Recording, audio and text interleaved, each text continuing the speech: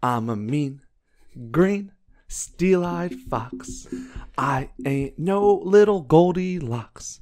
If I want a big belly meal, I don't cook, I just steal. Yeah.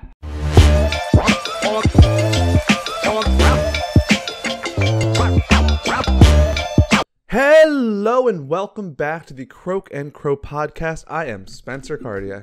I am Merry Christmas. Merry Christmas, and this here is Frank. Festive as ever because it is Christmas Eve, It's his. everybody. It's, the, it's a deconstructed bow for the last bow. oh, the last bow, the twelfth bow. Yes. On the twelfth day of Christmas, my true love gave to me, Frank. Yeah. And um, yeah, it's Christmas Eve, guys. It's good to be here. It's good to be alive. We yesterday, if you watched our podcast on Don't Tell Me Walk Through Thursday Isaiah, Mm-hmm. You saw that we were both going to decorate our mic stands for Christmas. Yeah. And the winner was going to get a hundred dollar Visa gift card From the viewers. from the viewers.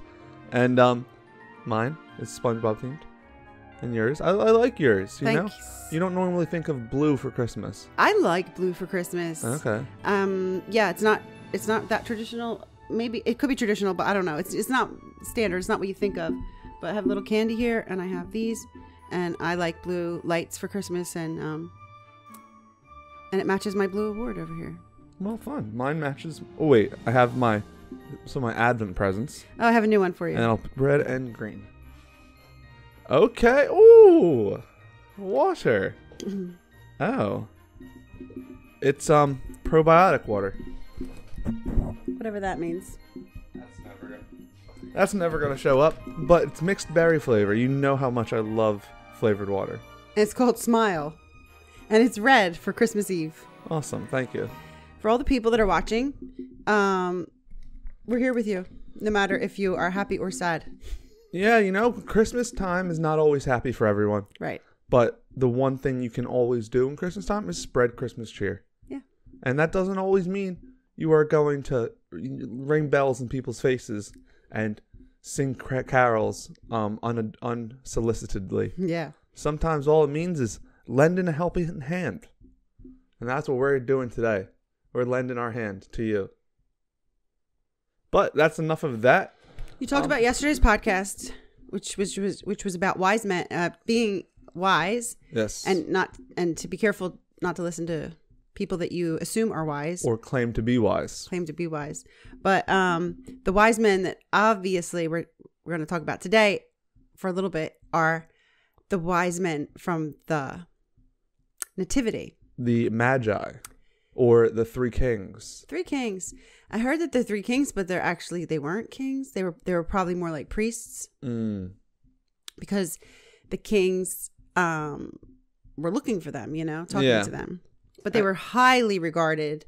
And they were like seers, right? Like they. Yeah, they also well, um, that's how they followed the star Yeah. because astrology, science, and religion all went together at that time. Wouldn't it be nice? Wouldn't it be nice if it still went together? Wouldn't it be nice? Um, do you know their names? Uh Bartholomew is one. No, it's the name that you wanted to actually name yourself. Balthazar. That's what Balthazar. Balthazar, I don't think I'd get the other two. Melchior, Never would have gotten that. and Gasper. Gasper. Gasper. I kind of like the name Gasper. Mhm. I like that name for a cat. Well, that's Casper. But you can name a, a cat Gasper. You could actually on this it says Gasper or Casper. Gasper, Casper, or Doc. Gasper is known for bringing. Do you know the? Do you know the um gifts? Yes. The gifts of the Magi. Are frankincense, myrrh, and gold. Yeah. Usually people say it in a different order, so that was a little like, is he gonna get this? I feel like frankincense is my favorite to say, and then it goes frankincense and myrrh, Yeah. and I just forgot about gold. Do you know what frankincense is? Is it a perfume? Well, Melchior. What? Nope, not Melchior. Not him. Who was it? Oh yeah, Gasper, your friend. Was Yes. was well. It, it- they don't know who brought what, but um, you know, this is what they use to represent, and um, Yeah. they, they even put them in certain colors for in all the nativity scenes. What color is the gold one? The gold one, um, It's gold. green cloak, gold crown, green jewels is Gasper with the frankincense. Um, purple cloak is Balthazar, and gold cloak is Melchior, bringing the gold. Yes. But the frankincense, um, supposedly that represents uh, did you say perfume? Yeah, it's like a, Yeah. It's, it's like an incense, and it's used for worship in churches. Mm. So it's like this this baby will be worshipped as he gets older. The gold was because he was a king. Yes, and the myrrh. The myrrh is actually perfume for dead bodies. Oh, Yeah, once again making. Yeah. We we saw that with um, what was it called? The the wrapping cloth. Yeah, the, um, cloth. Oh my god. Swaddling cloth? Yeah, swaddling cloths. Yeah. Swaddling cloth. He was wrapped in that instead of a blanket, Right. and there is a parallel to the fact that at the time you would wrap dead bodies in that, Right. and it was all foreseeing that Jesus is um pro- the prophecy of Jesus to come and then have to die Right. for us. Right. And so, if you know the story of the wise men, um, King Herod is the one who uh, uh, uh, employed them and said, yeah. "I heard there's, a, I'm hearing word on the street. hmm Yo, I heard there's this new king. They're calling him the King of Kings. Yeah. Go find him for me. Right. So they And said, they- okay. Okay. And they found him, but instead of reporting back to Herod, they gave him gifts and they said, "Peace. Yeah. This dude's the real deal." They had a dream. Um, did they all have it together? One guy had it. I don't know. But there was a dream that warned them. I imagine they like sleep in like a triple bunk bed. I love it. they, they they construct ev- everywhere they go. Yeah. Um, so they were warned in this dream to not tell Herod, and so yes, they went back to their lands because they, you know, They had they nothing to tell. Somewhere else, there's nothing, nothing to see here. Nothing to see here. Well, then Herod ended up killing a lot of babies. We don't like Herod very much. Well, everything is is in the scripture. So every time people would tell Jesus, "I don't like this very much. This is not. This does not sound kosher," he would not say, fun. "It's in the scriptures. That's why we're doing it." And it's going to all be okay in the end. to the plan, people. And if it's not okay, it's not the end. oh, I like that. I like that Mhm. for a shirt.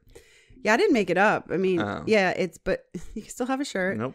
You can. It's people say it. They say everything will be okay in the end, and if it's not okay, it's not the end. Huh. Yeah, I like that. I'm gonna get it tattooed on my rib cage. Right here, Oh, remember we talked about tattooing Frank? vaguely. Now that I see all his skin exposed, it's just like a, I would love if it worked well. I Yeah. don't know if it would. Like It an wouldn't. actual tattoo gun. Yeah. Oh, actual tattoo gun. Yeah, I don't want to sharpie him. Yeah, because I had I've I've dr- drawn on many Barbies, and um, it bleeds into the rubber, Yeah. so it's very it's a very messy um I wonder. It's a very blurry What, line. what, well, like um, what's it called tattoo artists? hmm They are able to. They get like fake skin. Yeah, you can buy it on Amazon Yeah, it's just like a and practice. rectangle. Look it up. Maybe we could start tattooing Frank for Christmas. But we don't know how to draw know? Well, that's how you learn. on people. We'll start with his back yeah. and then work away to the face. Like put like faith right here. now you just made him lose his mistletoe. Oh, oh! I'm just gonna stop touching everything. Oh, oh, Oh, oh dear. But um, yeah, the Magi were, were pretty cool. There was one time at CCD where um th- we were putting on a nativity play, and um, did I ever tell my other story about um being miscast in a play?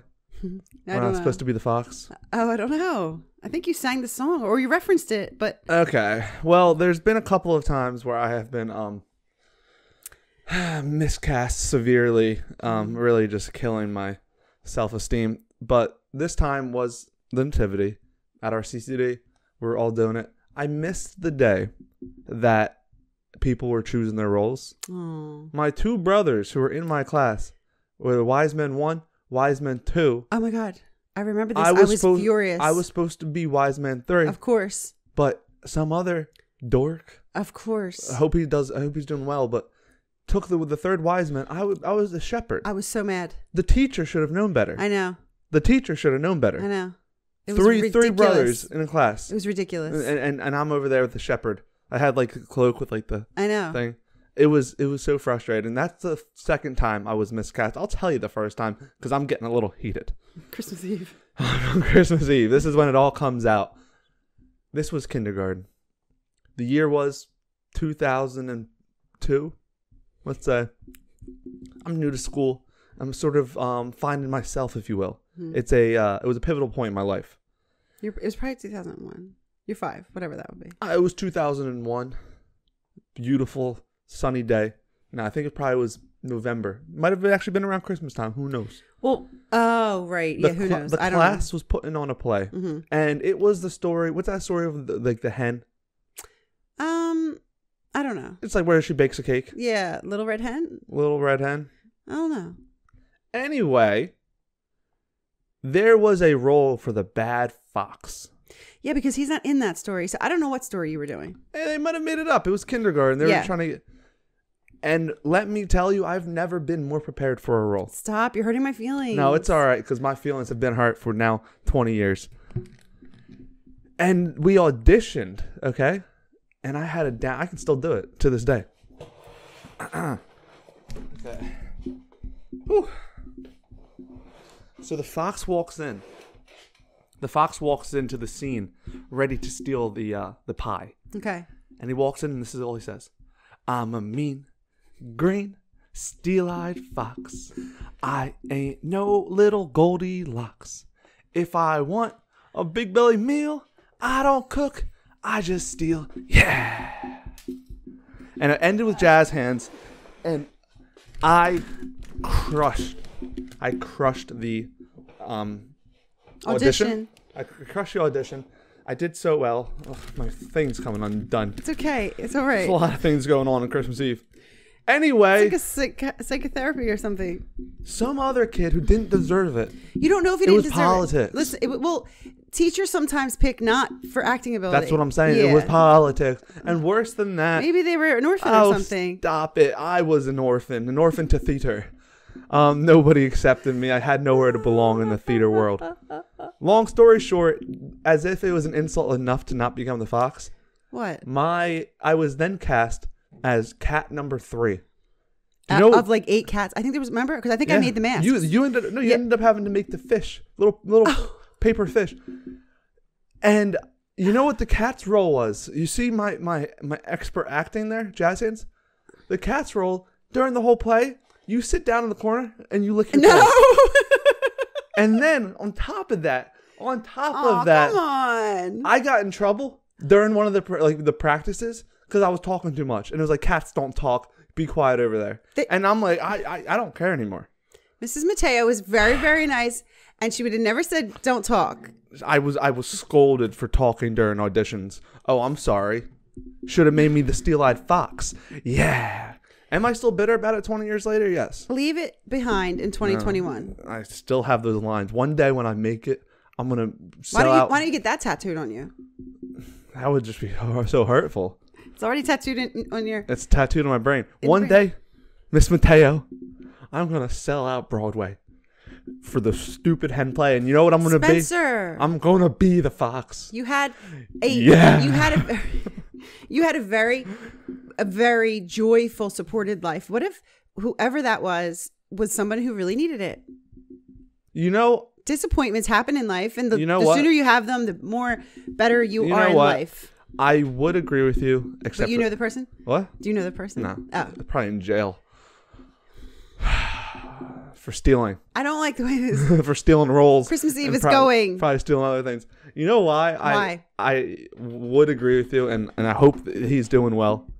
But it's the fact that at the time I cared a lot, I know. and some people would say, "Oh, come on! Like it was kindergarten. Who cares?" yeah. The fact that I still care 20 years later means it did matter more to me. I don't think he remembers that play. I don't think he remembers what? the jazz hands.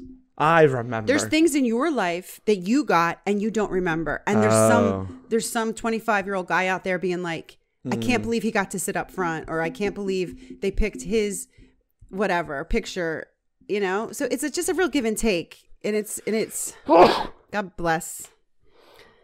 It's it's Ugh, it's it's okay. life, and life is is ebb and flow, and and it's fine. You're sometimes, right. Sometimes we get, and sometimes we we don't get. And Who knows how many how many things I stole from other people. Yeah, without knowing it. Okay. To that kid 20 years ago, I hope you're on Broadway right now. I hope the best for you. Mer- Well, Merry Christmas to you. do they From have one steel-eyed fox to an, from one cat to a fox. do they have uh, a smile water on the They last don't. on the last day Do of they have Frank, who's always here for him? Well, me? No. Taste the water. Let us know. I don't like flavored water. taste it. I don't want to. Taste it. I mean, try it. What does it smell like? Um, like fruit roll-ups. A little bit. You're the, the problem with you is you do too much. It's Ba- good. As bad as you thought. No, like I won't drink any more of it. Um, but really? it's not because it's bad. It's because I don't like flavored water. Because like I don't like like sweet juices or anything. Yeah, but isn't it super, super, super light? That's the problem. And so it's Ah. like the worst combination. Because Ah. I like water, and I'll drink fruit punch. Right. It's like a punch in the you know Hawaiian punch. Yeah. Slaps. But it's just like An old cup. You've just you've just ruined. yeah. You Yeah. poured water Yeah, into, into something that had some juice had in it. cranberry juice like caked on the bottom. oh my god. That's the way I say it on this Christmas Eve, on this fine Christmas Eve Yeah. with you fine people.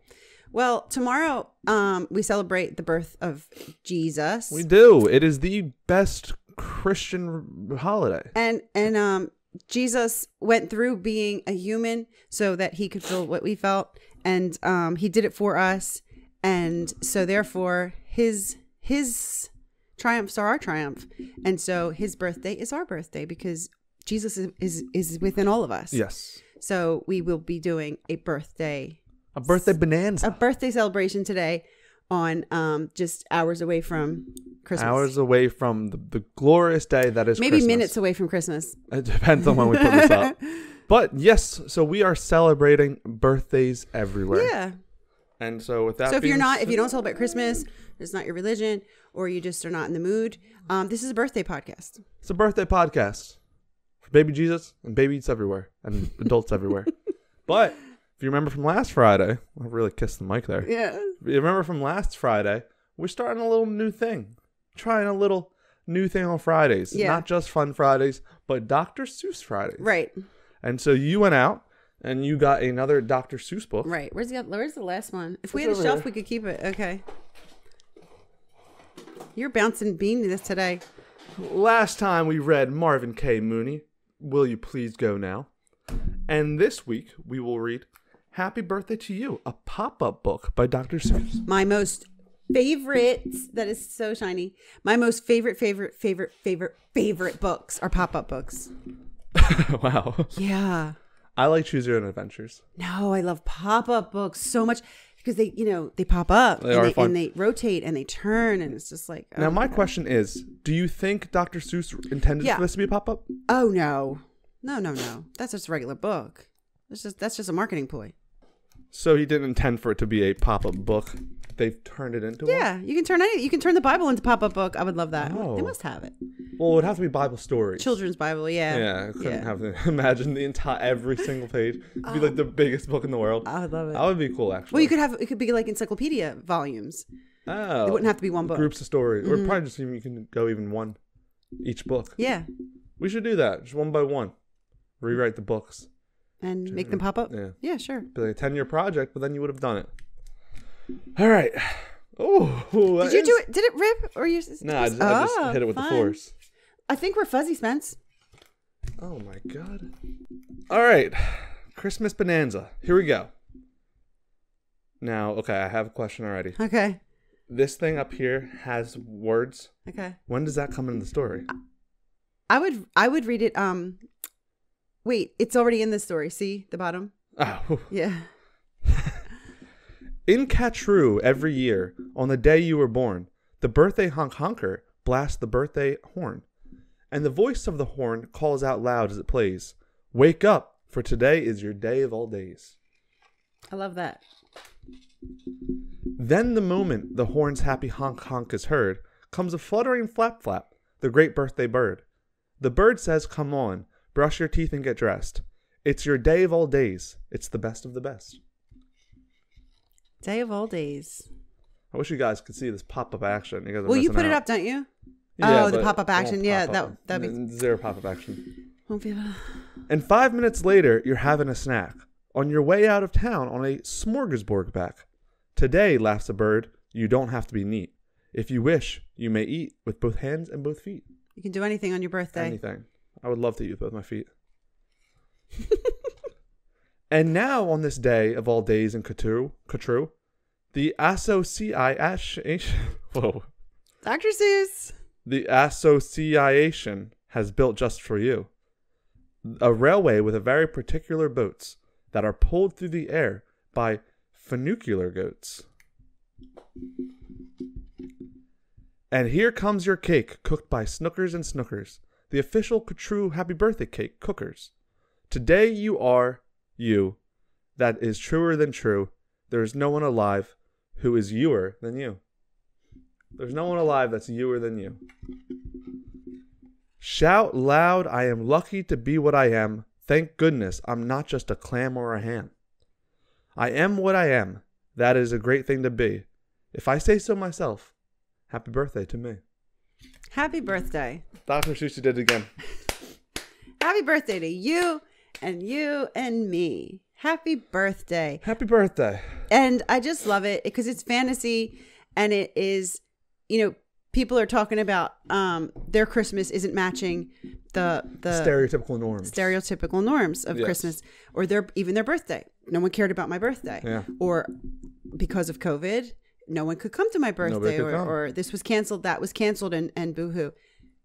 Fantasy world, think about the Katroos and the Maloos and the funicular mm. c- goats. that- Okay, yeah, I need you to help me.